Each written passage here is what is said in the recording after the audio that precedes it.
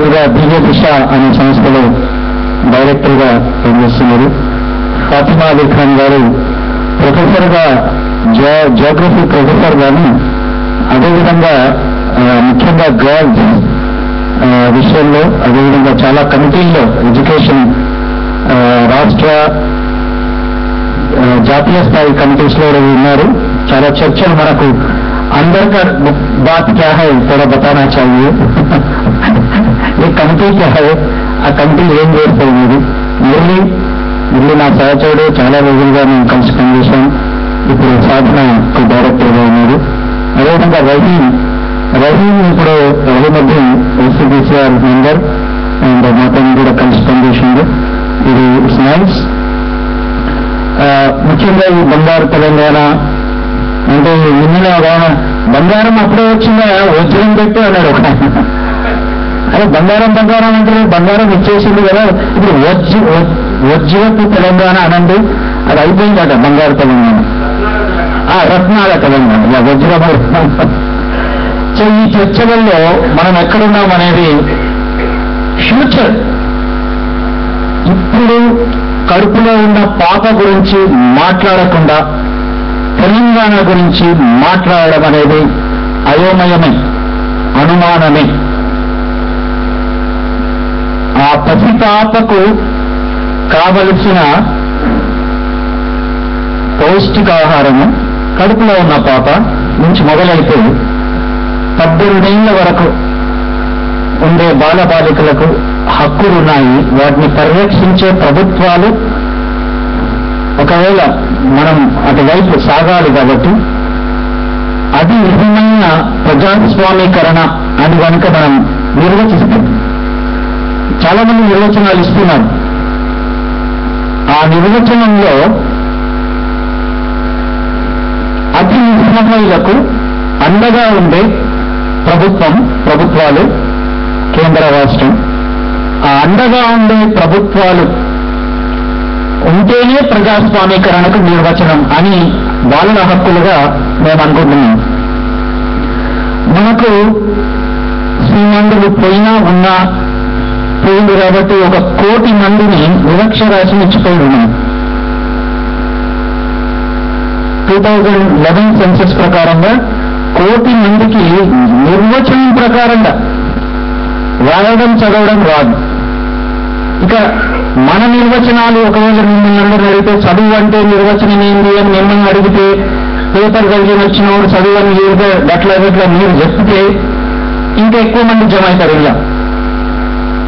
Literacy అనే డెఫినేషన్లో ఒక sentence జరిగి ఆ సెంటెన్స్ గమనంలోకి తీసుకున్నవాడు లిటరేట్ ఒకవేళ మీరు పదవ తరగతి చదివిన వాడు లిటరేట్ అని రెండు తెలంగాణలో నిర్వచించుకుంటే బంగారు తెలంగాణ కాబట్టి మినిమం టెన్త్ క్లాస్ లేకుండా చదివింటాయా మన చిల్డ్రన్ టెన్త్ దగ్గర ఆపుతలేదు కదా?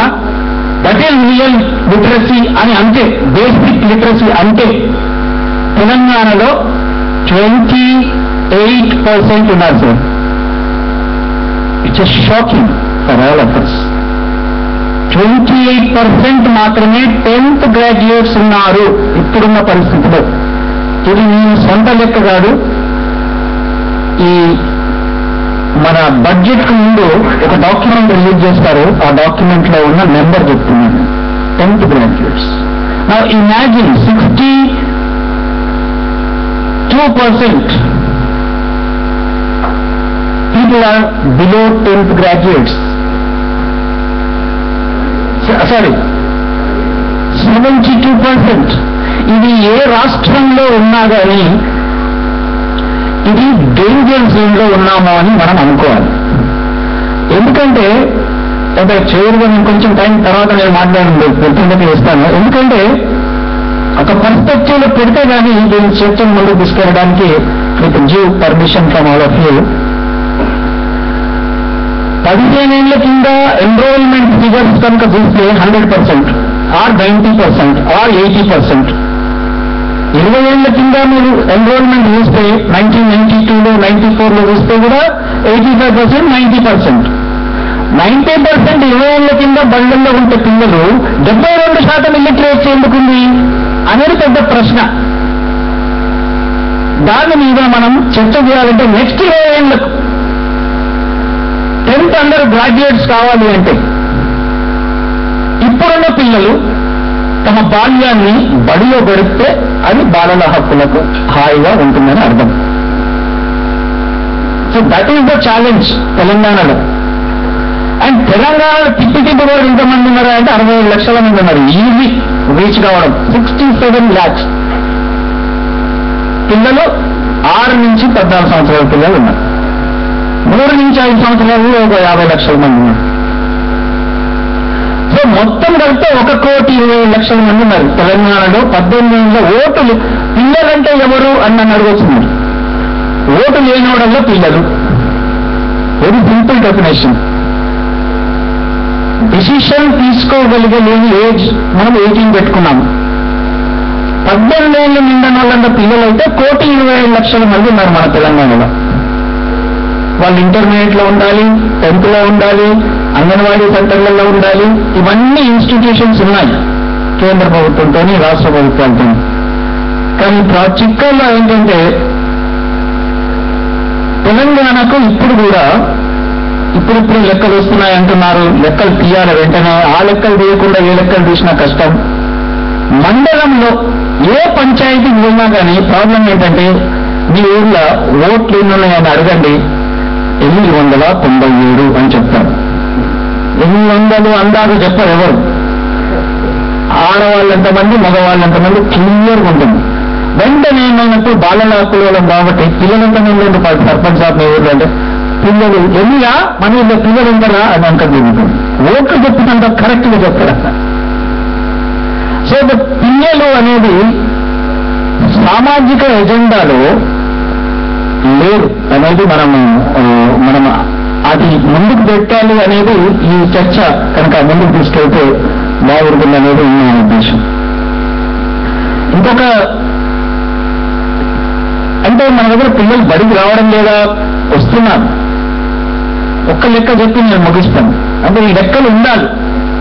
బోర్ కొడుతుండొచ్చు కానీ లెక్కలు ఉండాలి. సో ఆ లెక్కలో ఒక ఎనిమిది లక్షల మంది ఒకటో తరగతిలో చేరితే నాలుగు లక్షల మంది పదో తరగతికి వచ్చింది మిగతా వాళ్ళు ఎక్కడున్నారు ఏమైపోయింది? గవర్నమెంట్ లెక్కలలో ఈ నాలుగు లక్షల మంది ఉన్నారా అంటే లేరు. పిల్లలందరూ బడిలో ఉన్నారు? మరి మానేసిన వాళ్ళు జారిపోయిన వాళ్ళు ఎటుపోయింది అనేది తెలియదు. వీళ్ళు డ్రాప్ అవుట్స్ అని చాలా మంది అంటుంటారు కానీ మా పర్సనల్గా అయితే వీళ్ళు వాకౌట్స్ వీళ్ళు డ్రాప్ అవుట్స్ కాదు వాకౌట్స్ వీళ్ళ మీద స్కూల్ మీద ఇష్టం ఉందా లేదా అనేది ఇవన్నిటితో పాటుగా బాల కార్మికులు. బాల కార్మికులతో పాటుగా missing children girls specially girls మనకు చాలా హక్కుల భంగం అత్యంతంగా జరుగుతుంది. మన ఇళ్ళలో జరుగుతుంది మిడిల్ క్లాస్ ఇళ్ళలో జరుగుతుంది పేదల ఇళ్ళలో జరుగుతుంది. అన్ని ఇళ్ళలో జరిగే అత్యంత హక్కుల ఉల్లంఘన బాలికలకు జరుగుతుంది. ఆ బాలికల్లో ఇంకా పేదలైతే ఇంకా ఎక్కువ ఉల్లంఘన జరుగుతుంది. ఇంకా ముఖ్యమైన ఉల్లంఘన బాల్య వివాహాలు. ఆ బాల్య వివాహాలు యాభై శాతం పెళ్ళిళ్ళు మా రాష్ట్రంలో యాభై శాతం పద్దెనిమిది వేల లోపలనే అవుతాయి బాల్య వివాహాలు. బాల్య వివాహాలు ఇది స్వేచ్ఛకు సంబంధించింది సిటిజన్షిప్ సంబంధించింది. కాబట్టి బాల్య వివాహాలు జరిగినాక ఏమైతుంది అందరికీ తెలుసు మనకు. పిల్లల్ని కనాలంటారు పెళ్ళి కాదని పిల్లల్ని మగోళ్ళనే కనాలంటారు పెళ్ళి కాదని ఇవన్నీ ఉన్నాయి. ఇవన్నీ ఒత్తిడి. సో బాలుల మీద ఈ ఒత్తిడిని దూరం చేసే ఒక ప్రక్రియలో మనం తెలంగాణ సమాజం ముందుకు వెళ్ళాలి అంటే సోషల్ యాక్సెప్టెన్స్ ఏదైతే ఉందో పిల్లలపై బని భారాన్ని పిల్లల మీద భారాన్ని బాల్యాన్ని హరించి వేసే ఒక ప్రక్రియను గవర్నమెంట్స్ లా అనేది ఒకవైపు సోషల్ యాక్సెప్టెన్స్ అనేది రెండో వైపు. ఇటువైపు నుంచి కూడా ప్రక్రియ జరిగితేనే ఆ పిల్లలు హాయిగా ఆడుతూ పాడుతూ ఉంటారు అది బాల్యం. బాల్యం అందరికీ తెలుసు మనందరికీ సో అంత స్టాప్ చాలా సంతోషం మేడం ఫాతిమా మేడం మొదటి స్పీకర్గా మాట్లాడాల్సిందిగా కోరుతాను. I think format is like these speakers మాట్లాడిన తర్వాత ఒక ఫిఫ్టీన్ ఫిఫ్టీన్ మినిట్స్ మాట్లాడిన తర్వాత మళ్ళీ మన క్వశ్చన్ ఆన్సర్స్ ఉంటే బాగుంటుందని నా అభిప్రాయం. అది as a chair I think if all accept speakers fifteen fifteen minutes can sure sir then we will have question answers మళ్ళీ స్పీకర్స్ తోని వాళ్ళందరికీ కూడా చాలా అనుభవం ఉంది కాబట్టి ఐ థింక్ విచిత్రం ఏంటంటే బాలల గురించి అందరం ఎక్స్పర్ట్స్ అప్పుడప్పుడు అందరం ఎక్స్పర్ట్స్ కాము. అనుకుంటాం అప్పుడప్పుడు అందరం ఎక్స్పర్ట్స్ మా ఇంట్లో కూడా పిల్లలు ఉన్నారు? అదే మాకు దీని గురించి పెద్ద చర్చనా? పిల్లల గురించి ఉందా? చర్చ? అనేది కూడా ఉంటుంది కానీ ఆ పిల్లల మీద కోప్పడ్డప్పుడు గరమైనప్పుడు అయినప్పుడు అది బాలల హక్కుల ఉల్లంఘన అని తెలిసినప్పుడు మనకు అప్పుడప్పుడు తెలుసుకోవాలని అనిపిస్తుంది. అంతే. That is the difference so నా I request Fatima madam to interest